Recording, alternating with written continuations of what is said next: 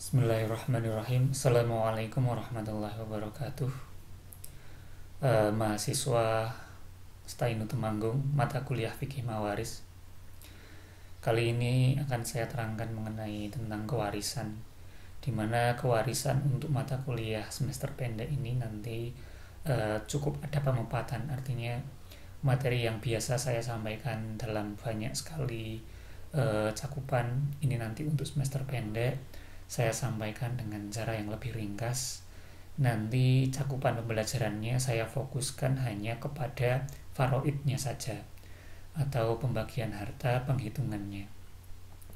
Adapun nanti terkait fikihnya, terkait dasar hukumnya, terkait kondisi sejarah, lalu eh, konteks di Indonesia, konteks hukum mawaris di Indonesia dan lain sebagainya silahkan nanti Anda pelajari literaturnya sendiri.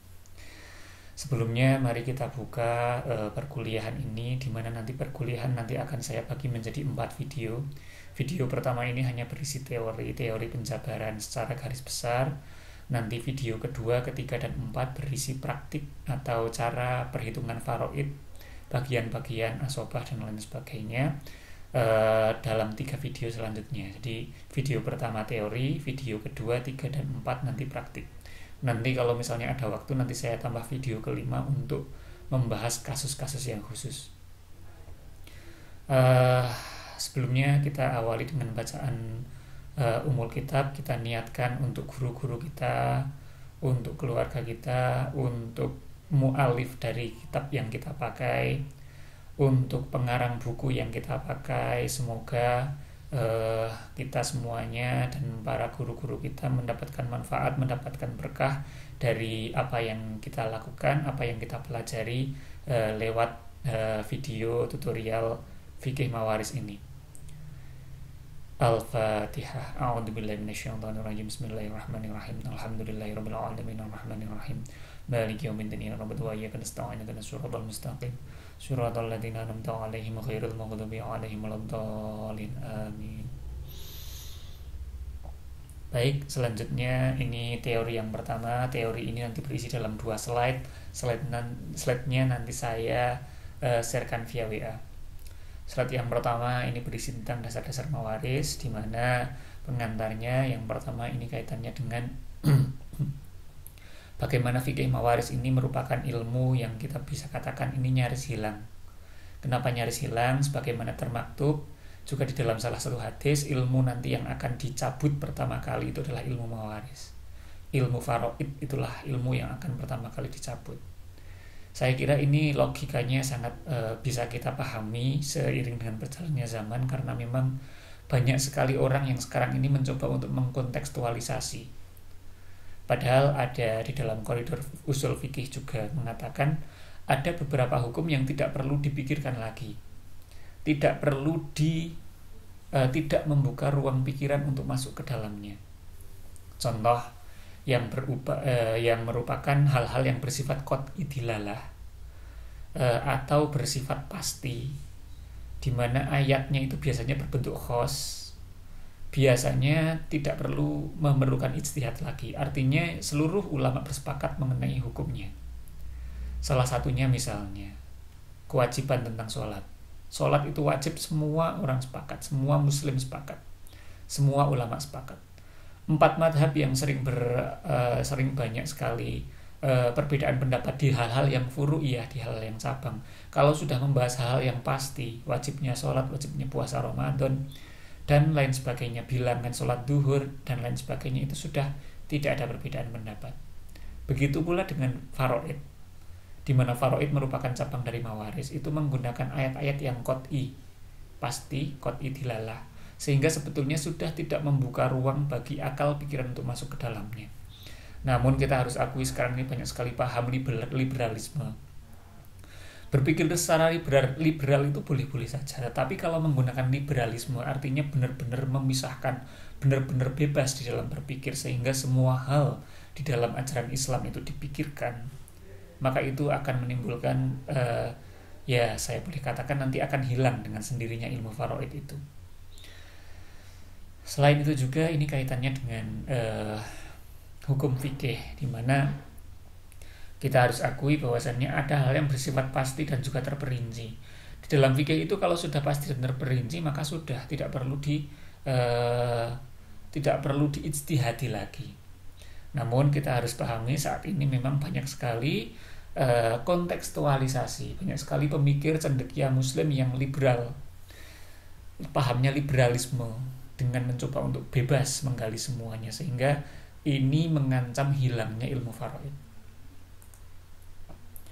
tujuan tujuan yang pertama di dalam uh, teori ini adalah yang pertama untuk menggali tentang dalil-dalil hukum sumber hukumnya. Jadi kita mencoba untuk melakukan uh, apa namanya uh, takwil atau mencoba untuk me mengetahui sebetulnya perjalanan mulai sampai muncul hukum tentang kewarisan dari ayatnya itu seperti apa.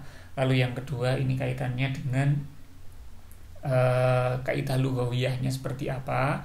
Lalu yang terakhir ini kaitannya dengan bagian-bagiannya. Ini yang uh, saya ajarkan untuk mata kuliah reguler tapi karena ini adalah mata kuliah SP yang perlu dipepatkan maka pembahasan saya fokuskan untuk uh, yang ketiga yaitu untuk bagian-bagiannya. Jadi ini nanti silahkan anda pelajari sendiri lewat literatur-literatur yang ada lalu waris, lalu faroid dan juga fikih mawaris. Ketiganya sebetulnya eh, biasanya tidak terlalu dibedakan, tapi di sini sebetulnya memang sangat berbeda ya. Yang pertama waris, waris itu dari kata warosa, di mana warosa itu berpindahnya suatu ke orang lain, di mana ini tidak hanya terbatas pada harta warisan, ini juga bisa pada ilmu, bisa pada hal, -hal yang lain. E, selanjutnya dengan faroid, faroid itu dari kata far, faret ya.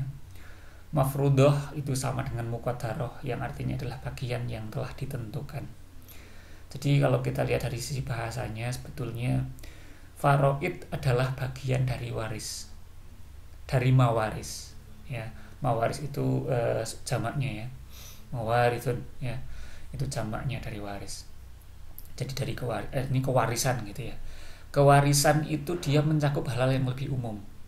Jadi mulai dari rukun waris itu siapa saja, orang yang meninggal, orang yang mendapatkan harta warisan, lalu bagaimana siapa saja yang tidak boleh mendapatkan, siapa yang diharamkan mendapatkan, siapa yang terhijab dan lain sebagainya. Itu masuk dalam koridor fikih mawaris. Adapun ilmu faraid itu hanya membahas tentang e, pembagiannya Walaupun kalau nanti kita berbicara pembagian nanti juga akan menyinggung ke tadi yang dibahas di dalam fikih mawaris.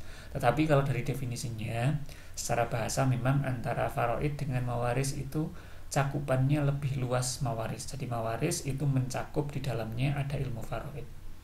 Adapun fikih mawaris eh, ilmu waris, ilmu waris itu eh, ada yang mendefinisikan bahwasannya ilmu mawaris itu berkaitan dengan siapa saja yang mendapatkan bagiannya bagaimana dan lain sebagainya.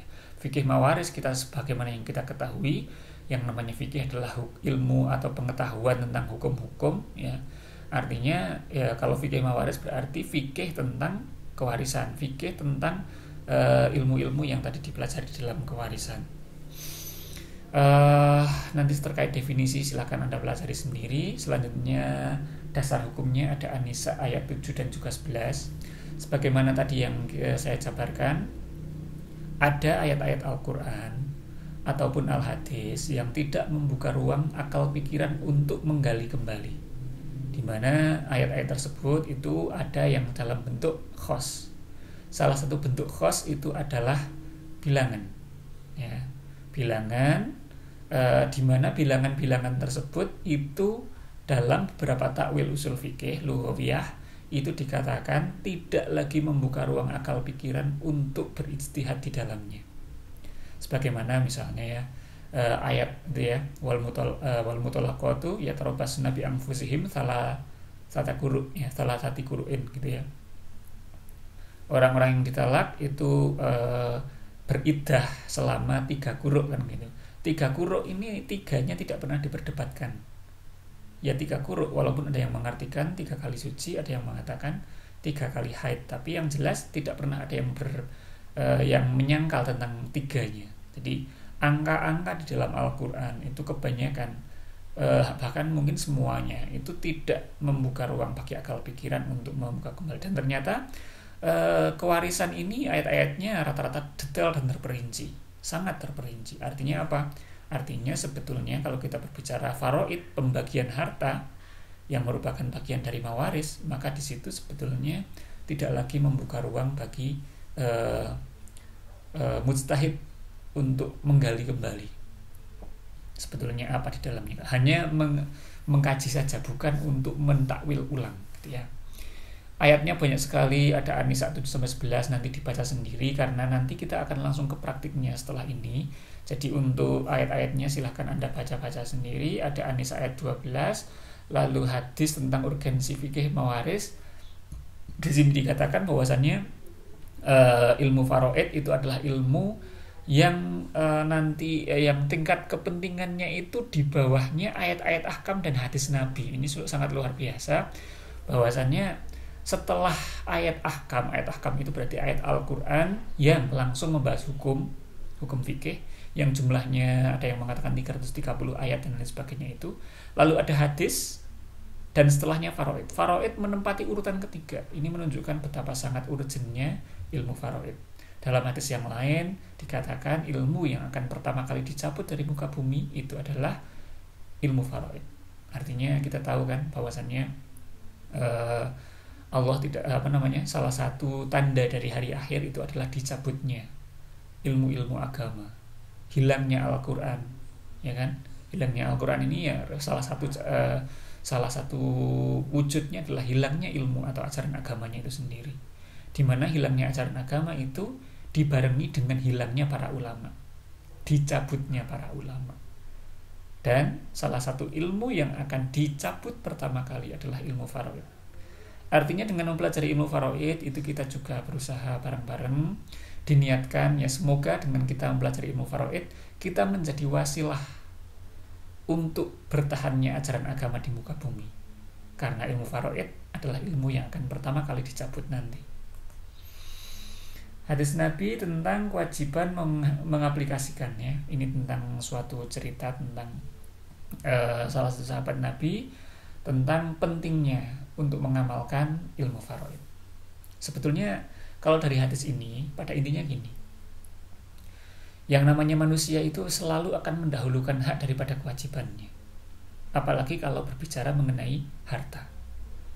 Misalnya ada seorang orang meninggal, meninggalkan anak. Seseorang meninggalkan, meninggalkan anak, dua orang anak gitu aja lah. Orang tua meninggal, lalu meninggalkan dua orang anak. Dua orang anak ini, ketika orang tuanya meninggal, meninggalkan harta warisan. Yang akan mereka pikirkan adalah saya mendapatkan berapa. Bukan membicarakan tentang kewajiban tapi yang akan selalu dipikirkan adalah saya mendapatkan berapa. Kenapa demikian? Karena tabiat manusia itu menyukai harta. Artinya harus ada aturan yang pasti tentang bagian harta.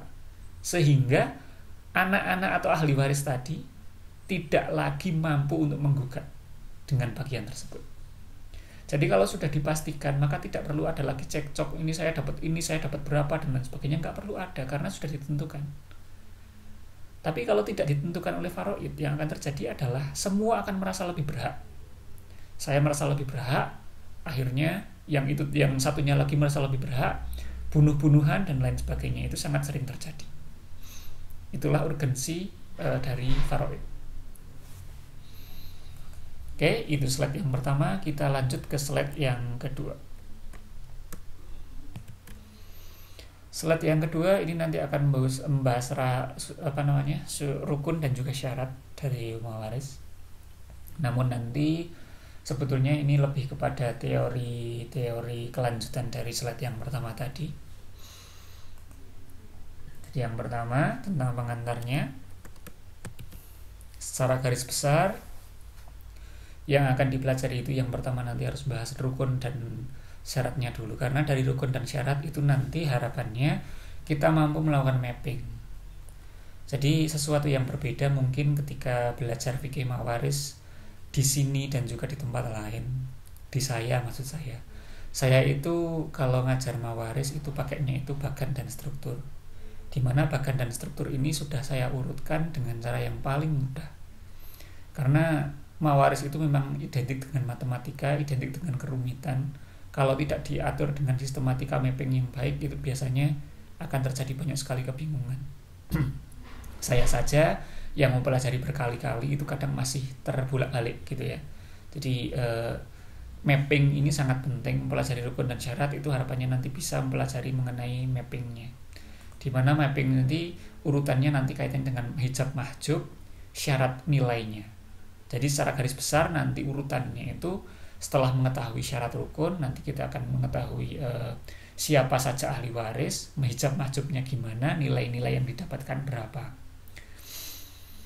nanti secara garis besar nanti kita lanjutkan ketika praktik nanti akan lebih jelas yang pertama rukunnya dulu ada muwaris mewaris atau yang mewariskan atau si mayit. Jadi mayit itu nama lainnya adalah mewaris. Lalu ada waris, di mana waris ini adalah pewaris atau ahli waris. Nama lain dari ahli waris adalah waris. Jadi beda antara mewaris sama waris, walaupun sama-sama isim fa'il. Kalau mewaris itu dari kata warrotha yuwarithu ya. Muwarithun itu fa'il dari warrotha, ada tasjidnya tapi kalau warithun itu dari kata warotha, tidak ada tasjidnya. Yang pada intinya mewaris itu adalah masih mayit, lalu waris adalah ahli waris atau orang yang nanti akan mendapatkan pembagian hartanya. Lalu ada maurus yaitu harta yang ditinggalkan. Maurus adalah harta yang ditinggalkan. Nanti kita akan menggunakan terminologi yang mudah saja, yang jelas Anda sudah tahu ketiga rukun ini.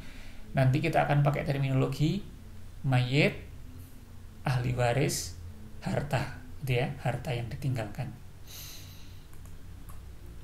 Syarat waris itu adanya kematian secara nyata maupun dinyatakan. Jadi ada kematian yang nyata, ada kematian yang harus dinyatakan kematian nyata itu kalau kita udah tahu beneran dia udah mati nggak bernafas lagi dimakamkan gitu itu namanya kematian nyata ada kematian yang harus dinyatakannya itu kematian di mana orang itu hilang dan kita nggak tahu kabarnya bagaimana. Misalnya hilang karena bencana alam nggak tahu dia masih hidup atau enggak tapi ternyata setelah dicari berhari-hari bahkan berbulan-bulan nggak ketemu maka akhirnya dinyatakan meninggal dunia. Secara uh, itu ya karena ada uh, secara hukum. Jadi dinyatakan secara hukum telah meninggal. Itu sudah bisa menjadi syarat dari kewarisan. Yang kedua adalah ahli waris masih hidup jadi kewarisan itu terjadi kalau ahli warisnya hidup. Jadi yang pertama tadi si mayatnya harus sudah mati ya. Kalau masih hidup ya bukan mayat namanya. Si mayatnya harus sudah mati ahli warisnya masih hidup. Yang terakhir adalah tidak adanya penghalang kewarisan. Jadi penghalang kewarisan ini di sini tiga uh, dikarenakan tiga hal. Yang yang pertama adalah pewaris membunuh mewaris. Pembunuhan. Ini seorang yang membunuh akan terhalang atau diharamkan, bukan terhalang ya, diharamkan untuk mendapatkan harta waris. Yang kedua adalah perbudakan dan yang terakhir adalah berlainan agama. Ini nanti kalau membahas berlainan agama ini sudah bisa jadi satu makalah sendiri karena berlainan agama ini mungkin kaitan dengan hak asasi manusia dan lain sebagainya itu nanti akan bermasalah. Tapi itulah yang namanya ajaran fikih. Fikih itu berlaku di dalam uh, fikih mawaris menurut saya itu berlaku di dalam koridor umat muslim. Artinya berlainan agama antara si mayit dengan si ahli waris itu menggagalkan adanya kewarisan. Selanjutnya ahli waris dan pembagiannya ahli waris itu ada yang disebut sebagai asabul furud, yang kedua adalah asobah. Ya, di sini bisa dilihat pembagian dari ahli waris itu sebetulnya banyak sekali. Jadi pembagian berdasar apa, berdasar apa, berdasar apa. Tapi ini dibedakan berdasarkan ketentuan-ketentuan bagiannya. Jadi kalau dibagi dibagi berdasarkan ketentuan yang dibagi itu hanya ada dua. Yang pertama itu adalah ashabul furud itu adalah jamak dari sohibul fard yang artinya adalah ahli waris ingat ashabul furud adalah manusia ya bukan harta. Ashabul furud sohibul fard adalah ahli waris artinya orang. Ahli waris yang mendapatkan bagian yang ditentukan. Ada yang dapat setengah, sepertiga, dua per tiga. Itu namanya ashabul furud. Lalu ada lagi asobah. Nah ini yang salah biasanya dalam pemahaman. Banyak orang yang mengartikan asobah itu harta sisa bukan asobah adalah orangnya. Jadi asobah adalah ahli waris yang ahli waris yang menerima harta sisa. Jadi bukan harta sisanya. Kalau harta sisa itu beda lagi. Ya. Jadi asobah bukanlah sisa. Kan kalau kita sering bercanda gitu makan gitu sisa satu gitu sering kita bilang ah ini asobahnya buat saya gitu kan. Padahal yang namanya asobah itu bukan harta sisa atau sesuatu yang sisa itu bukan asobah adalah orangnya orang yang menerima sisa pembagian setelah dibagi kepada ashabul furud setelah dibagi kepada orang-orang yang mendapatkan bagian-bagian pasti. Farad atau furud itu ada enam. Diurutkan dari yang paling besar itu adalah 2 per 3. Kalau ada yang masih bertanya, 2 per 3 itu berapa? 2 per 3 analoginya adalah ada satu dibagi tiga, lalu diambil dua. Dari tiga itu diambil dua, itulah 2 per 3. Satu dibagi tiga bagian, lalu mengambil dua dari tiga. Itu namanya 2 per 3 ada yang lebih kecil lagi yaitu setengah setengah itu ya hambang yang setengah ya satu dibagi dua itu namanya setengah lalu sepertiga. Sepertiga itu adalah satu dibagi tiga lalu kita mengambil satu bagian. Itu namanya sepertiga. Seperempat. Seperempat adalah setengahnya dari setengah. Atau satu dibagi empat kita ambil satu. Itu namanya seperempat. Lalu seperenam. Seperenam itu adalah satu dibagi enam lalu kita ambil satu. Terakhir seperdelapan satu dibagi delapan lalu kita ambil satu. Bagian. Jadi hanya ada bagian ini. Ini urutan dari yang paling besar sampai yang paling kecil jadi nilai bawah semakin besar ini justru malah menjadikan dia semakin kecil. Walaupun 2 per 3 sama setengah ini walaupun bawahnya besar 3 daripada 2 tapi 2 per 3 lebih besar. Kenapa? karena pembilangnya bilangan atasnya lebih besar yaitu 2 1 per 2 pembilangnya angka 1 2 per 3 pembilangnya angka 2 ya ini yang lebih besar semakin kecil semakin kecil paling kecil. Dan ashabul furud hanya ada enam ini nggak ada yang lain. Nggak ada sepersembilan nggak ada sepersebelas nggak ada hanya ada ini. Ini sebagai dasar pula anda kalau ingin pembagian waris cukup hafalkan enam hal ini nanti mudah untuk menghafalkan selanjutnya.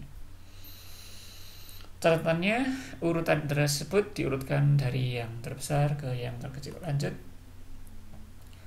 Uh, yang selanjutnya adalah asobah pembagian asobah. Asobah itu hanya ada tiga. Jadi ahli waris yang menjadi asobah itu ada yang disebut asobah binafsi asobah binafsi adalah ahli waris yang mendapatkan bagian sisa karena dirinya sendiri jadi asobah binafsi itu terjadi karena dirinya sendiri dia nggak membutuhkan orang lain untuk menjadi penyebab dia menjadi asobah Misalnya anak laki-laki. Anak laki-laki adalah contoh dari asobah binafsi. Dia nggak membutuhkan ahli waris yang lain. As anak laki-laki sampai kapan pun dia akan selalu menjadi asobah binafsi. Akan selalu menjadi ahli waris yang mendapatkan bagian sisa. Selanjutnya asobah bil khair. Asobah bil khair adalah asobah yang menjadi asobah karena bersama-sama dengan asobah yang lain. Jadi dia itu sebetulnya nggak jadi asobah kalau seandainya yang lain nggak ada. Kalau asobah yang lain nggak ada. Contohnya adalah anak perempuan. Anak perempuan kalau tidak ada anak laki-laki maka dia mendapatkan bagian pasti asabul furud bisa dua per tiga bisa setengah tetapi kalau ada anak laki-laki, kan anak laki-laki sebagai asobah, maka anak perempuan ketarik dia menjadi asobah juga. Nah, asobah yang semacam ini disebut asobah bil khair. Bil khair kan artinya dengan yang lain. Yang lain itu siapa? Contohnya tadi anak perempuan dengan si anak laki-laki. Tertarik, ditarik oleh anak laki-laki. Sehingga kalau ada anak laki-laki dan anak perempuan maka kedua-duanya nanti menjadi asobah anak laki-laki asobah binafsih anak perempuan asobah bil ghair yang terakhir asobah ma'al ghair nah kalau asobah ma'al ghair ini berbeda lagi yaitu asobah yang menjadi asobah karena keberadaan ahli waris tertentu jadi ada ahli waris yang dia itu menjadi asobah karena keberadaan ahli waris tertentu di mana ahli waris tertentu ini bukanlah asobah Intinya ketika dia ada, dia langsung menjadi asobah.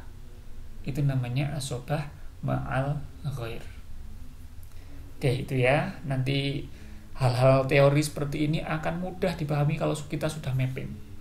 Kalau kita sudah praktik. Nah, ini mappingnya. Uh, mapping pembagian ahli waris dalam kewarisan ini untuk mengetahui untuk persiapan kita di dalam tutorial nanti di dalam praktik nanti sebetulnya siapa saja yang boleh mendapatkan harta waris. Yang pertama dari kategori pasangan. Ada suami ada istri. Ini saya kasih dalam kurung ini artinya nanti yang dalam kurung ini sebagai kode. Karena kalau tulisannya terlalu panjang nanti ketika kita bikin mind map atau mapping itu nanti tulisannya sulit. Suami istri nanti juga akan ditulis suami dan istri dan ingat suami dan istri ini pilihan karena nggak mungkin seorang mayat punya suami punya istri. Kalau mayatnya laki-laki maka punya istri. Kalau mayatnya perempuan maka punya suami. Artinya milih. Suami dan istri ini pilihan nggak mungkin dua-duanya. Suami dan istri ini pilihan nggak mungkin dua-duanya. Yang selanjutnya adalah dari golongan usul. Usul itu kan akar asal asal artinya yang melahirkan. Yang melahirkan berarti golongan orang tua bahasanya gitu. Usul itu orang tua. Orang tertua berarti di atas kita. Itu ada lima tok. Yang pertama ayah yang kedua ibu yang ketiga eh, maaf ayah kakek ya, ayah kakek. Kakek ini adalah kakek dari ayah. Artinya kakek dari ibu nggak dapat. Jadi kakek dari garis ibu itu nggak mendapatkan harta warisan. Kakek dari garis ayah saja. Jadi ayahnya ayah itulah yang akan mendapatkan warisan. Lalu ibu, lalu nenek. Nenek ini dua-duanya dapat baik nenek dari garis ibu maupun nenek dari garis ayah. Nanti simbolnya ayah tetap ayah, kakek tetap kakek, ibu tetap ibu. Kalau nenek dari ibu nanti ditulis nenek dari ayah dan nenek dari ibu. Ini nanti ketika kita membuat mind map kita tulis dengan yang ada di dalam kurung. Yang selanjutnya dari golongan furuk, furuk cabang bahasanya ya golongan keturunan. Nah, itu furuk. Keturunan hanya ada empat golongan. Yang pertama adalah anak laki-laki, nanti ditulis anak LK. Yang kedua anak perempuan ditulis anak PR.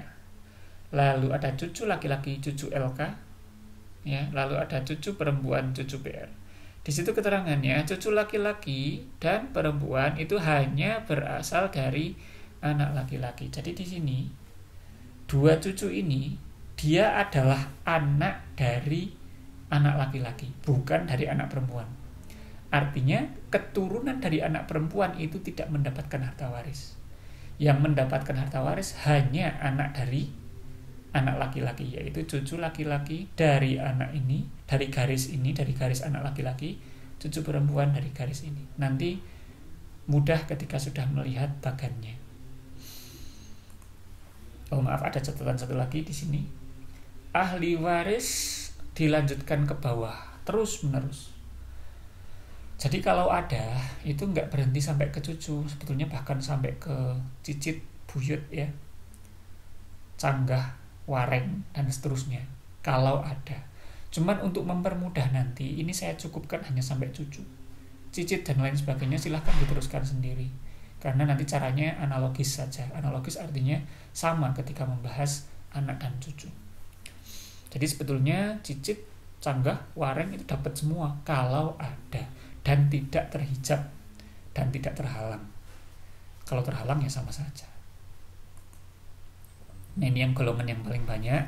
Golongan yang paling banyak adalah hawashi. Hawashi itu yang di samping gitu aja lah di samping itu ada golongan saudara saudara si mayit ya ada golongan paman ada golongan keponakan ada golongan sepupu di sini dimulai dari saudara laki-laki saudara laki-laki seayah saudara perempuan kandung saudara perempuan seayah kandung sama seayah. Kalau kandung itu berarti bapak ibunya sama. Kalau seayah artinya kalau seayah itu artinya uh, ayahnya sama tapi ibunya beda. Misalnya ayahnya poligami atau ibunya meninggal terus bapaknya nyari ibu yang lain lalu punya anak lagi itu namanya anaknya nanti anak seayah. Anak seayah. Terus dari yang ada ini nanti ada codingnya seperti ini nanti SDRA itu untuk saudara artinya laki-laki SDRA. Jadi kalau laki-laki nanti kayak saya kasih SDRA, kalau perempuan SDRI. SDRA, SDRI. Kalau kandung nanti simbolnya KDG, kalau seayah itu SAY. Selanjutnya adalah eh, anak dari mereka. Jadi ada anak laki-laki dari saudara apa namanya anak laki-laki dari saudara kandung. Berarti kalau saudara berarti laki-laki ya. Anak dari saudara kandung bukan saudari berarti bukan yang perempuan.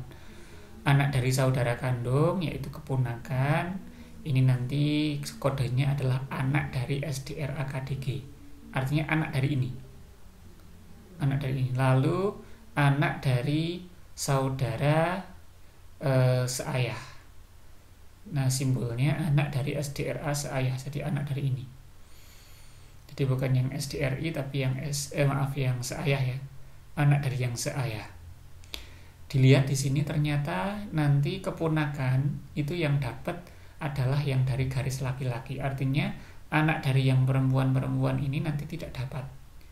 Jadi kalau misalnya nanti saudari saudari kandung atau saudari seayah ini punya anak nanti keponakan dari garis ini nggak dapat. Yang dapat hanya yang dari garis laki-laki. Dari garis saudara laki-laki dan garis uh, saudara laki-laki kandung dan garis saudara uh, laki-laki seayah. Keponakan ya.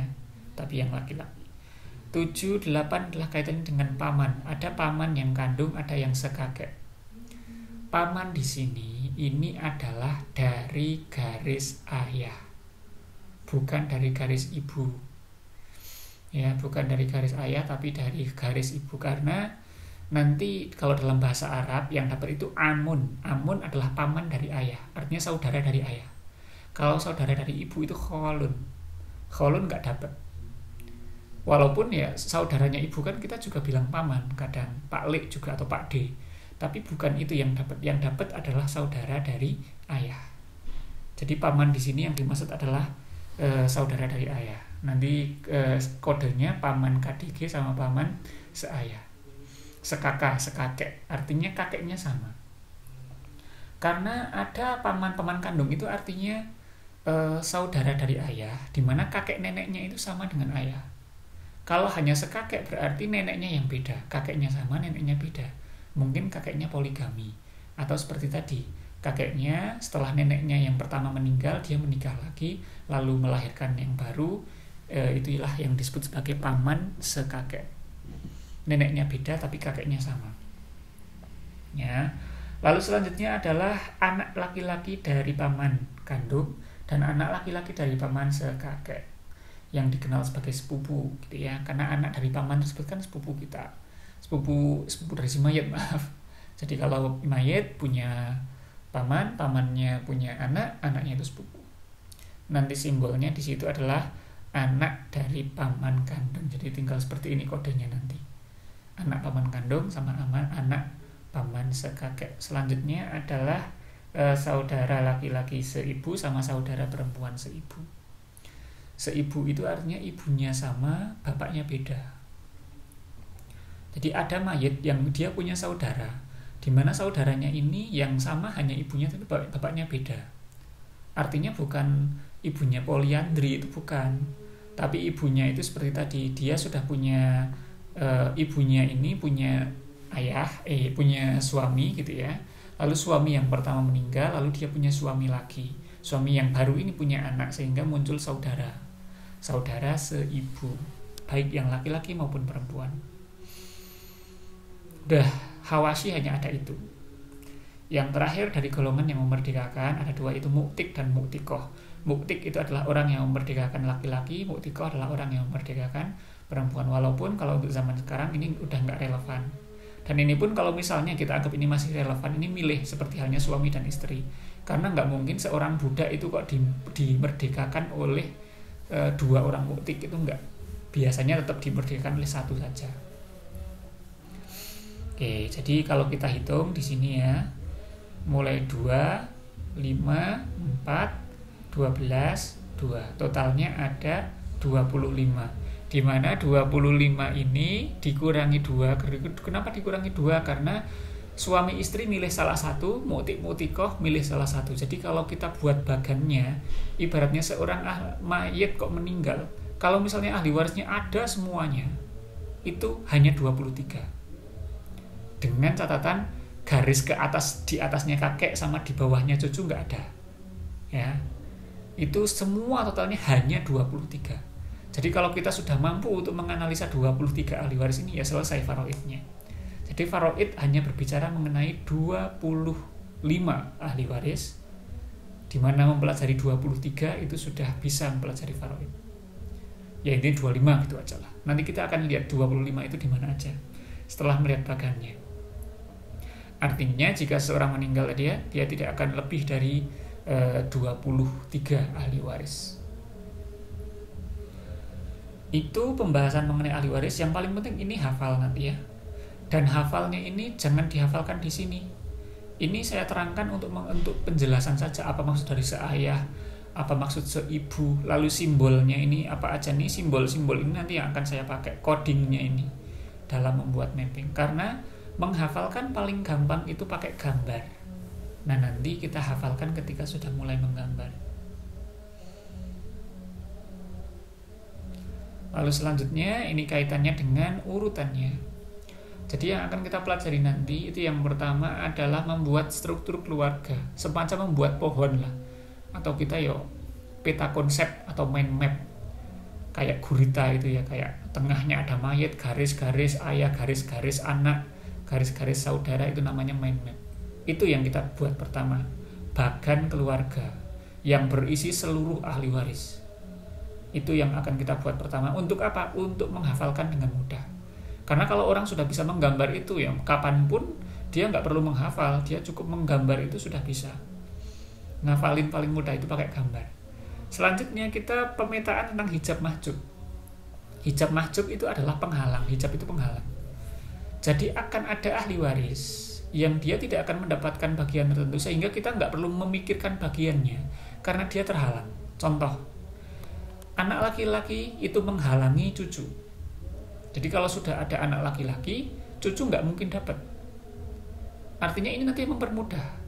Jadi boleh jadi kalau misalnya gini, seorang mayat meninggalkan banyak sekali ahli waris, tapi ternyata yang dapat hanya lima dok, itu mungkin aja. Kenapa? Karena yang lain terhijab, sangat mungkin. Dan itu akan mempermudah di dalam ilmu faraid, karena sudah mengeliminasi banyak. Yang selanjutnya adalah mengetahui bagiannya. Mengetahui dia itu sebagai ashabul furud atau asobah. Setelah tahu, mengetahui furutnya berapa. Apakah sepertiga, dua per tiga, atau seperempat, atau setengah. Dia asobahnya apa? Asobah binafsi, asobah ma'al khair, atau asobah bil khair. Setelah mengetahui bagian-bagiannya, barulah dilakukan dengan proses perhitungan. Proses perhitungan itu mungkin akan kelihatan sulit Cuman kalau bagi saya di zaman yang sudah teknologi kalkulator ini sangat mudah sekali. Walaupun di dalam faraid juga ada cara bagaimana cara menghitung kewarisan tanpa pakai kalkulator. Tapi kalau misalnya Anda kok mau pakai kalkulator nggak apa-apa karena sebetulnya yang paling urgent itu sampai langkah ketiga, langkah keempat itu dengan kemajuan teknologi kalkulator selesai. Tapi sampai ketiga ini perlu pemahaman. Biar nanti kita tahu jeluntrungannya selundrungan mulai dari awal siapa ahli warisnya yang terhijab siapa bagiannya berapa itu yang paling penting. Intinya inilah step-step yang akan kita pelajari di dalam video-video selanjutnya. Itu teorinya. Selamat bertemu lagi nanti di video selanjutnya. Kita akan langsung praktek membuat bagan keluarga. Kurang lebihnya mohon maaf. Assalamualaikum warahmatullahi wabarakatuh